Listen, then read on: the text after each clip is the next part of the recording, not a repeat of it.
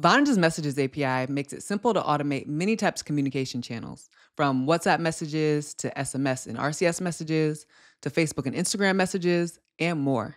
While you can integrate messages into your codebase using Vonage's CLI tool or directly using HTTP requests, Vonage makes it even more seamless to integrate by also providing multiple SDKs and libraries using various programming languages.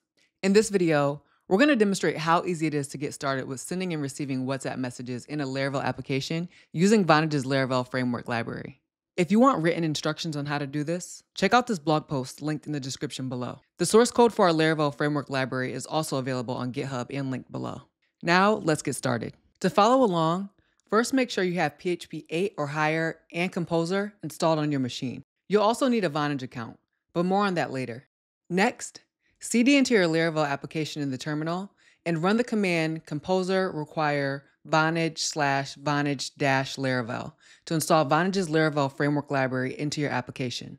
Run the following PHP artisan command to copy the Vonage config file from the library directly into your application. If you want a quick way to copy and paste these commands, check out the README of the Vonage-Laravel framework library. I'll link it in the description below. Now we need to populate our .env file with some credentials. For this particular use case, we're going to need to add our application ID and private key. Both of those we can get from Vonage's API dashboard. If you haven't created an account yet at dashboard.vonage.com, make sure you do that first.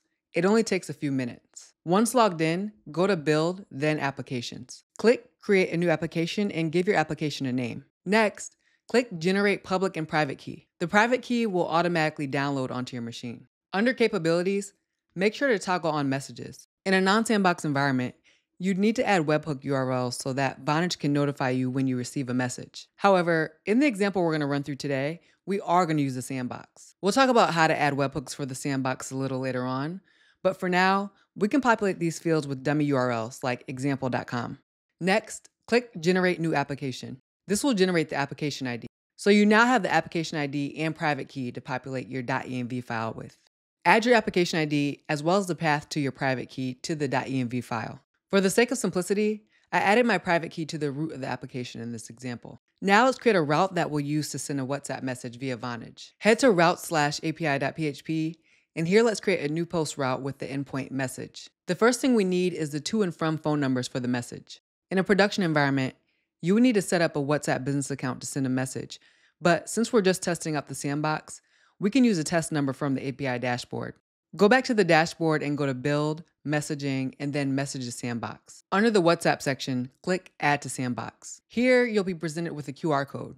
When you scan the QR code with your phone, it will automatically open WhatsApp on your phone and pre-populate a message to the WhatsApp Sandbox number listed. Once you click Send, your phone number can then be used to send and receive WhatsApp messages from the sandbox. If you scroll to the bottom of the page, there's a sample curl command you can also use to test out WhatsApp in the sandbox. But for our Laravel example, we can just steal the to and from numbers to use in our api.php file. I'm going to add those to my .env file as well, and then create variables for them in the config slash vonage.php file so that I can easily call them from the api.php file. As you can see, there are already variables for private key and application ID, so we don't need to worry about those. Now, back in our api.php file, we can just use a config method to pull in our customer number for the to field and our WhatsApp number for the from field. In our text, let's tell our customers to guess the magic word.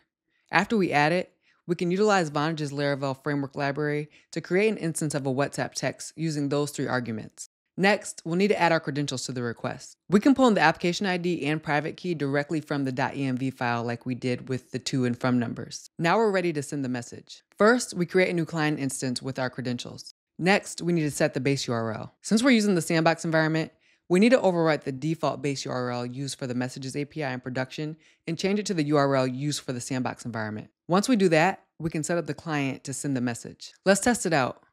Start the server by running the php artisan serve command in the root of the project. If successful, we'll see the application is running on localhost 8000. Now we can send a post request to our new API endpoint, which successfully sends a WhatsApp message from the Vonage sandbox to our phone. Now that we set up a route to send a message, setting up the route that received the response to the message is just as easy. Earlier, we talked about setting up webhooks for your application. For the sandbox, you actually want to go back to the messages sandbox to add your webhooks. We need URLs that Vonage can call to tell your application that your WhatsApp message has been responded to. There are a few different tools to do that, but in this example, we're going to use ngrok. After you install ngrok on your machine and create an account, with your application still running on port 8000, run ngrok http 8000. That will give you a public URL that will forward to your local port 8000. Now we can use this as a base for our webhook URLs. For inbound, we'll create an endpoint that is slash API slash inbound.